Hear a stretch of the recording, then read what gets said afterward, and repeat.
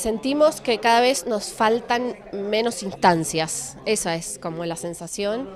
Eh, realmente lo de mm, estos procesamientos eh, eran muy necesarios, son procesamientos que empiezan a completar el esquema de cómo eh, fue primero con los exdirectivos, cómo, fue, cómo se planeó intelectualmente la desaparición. Habría algunos que están más involucrados en la parte de la realización material del, secuestro.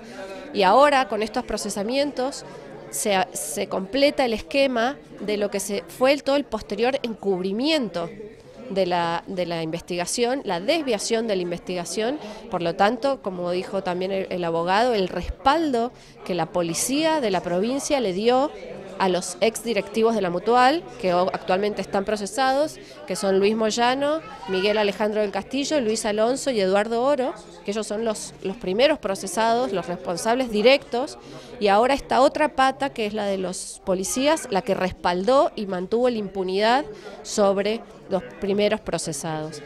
Sí, siento que vamos eh, acercándonos a una posibilidad de juicio, de elevar la causa a juicio, Todavía falta mucho instrucción porque hay que realmente completar el esquema.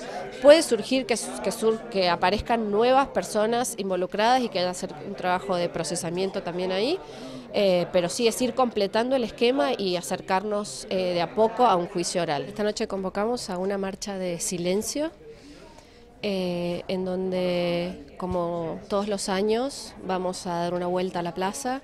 Nos concentramos en la Plaza 25 de Mayo a las 21 horas. Los esperamos a todos.